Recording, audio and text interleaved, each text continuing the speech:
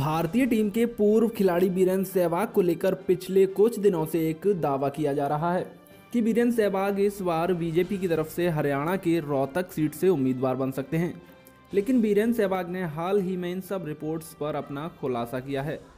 शुक्रवार 8 फरवरी को बीरेन सहवाग ने अपने ट्विटर हैंडल पर ट्वीट करते हुए कहा कि कुछ चीज़ें ऐसी होती हैं जो कभी भी नहीं बदलती और इलेक्शन की अफवाहें भी बिल्कुल वैसी ही हैं।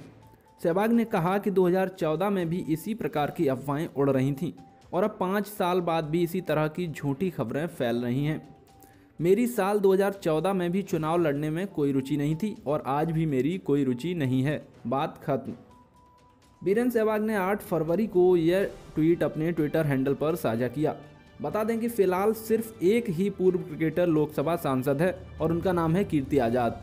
कीर्ति आज़ाद बिहार के दरभंगा से साल 2014 में तीसरी बार बीजेपी के सांसद बने थे। तो दोस्तों, आप लोगों की क्या राय है सहवाग के बारे में और उनके इस ओपिनियन के बारे में? हमें कमेंट बॉक्स में ज़रूर बताएँ। और अगर ये वीडियो पसंद आए तो लाइक के बटन को दबाना बिल्कुल भी ना भूलें।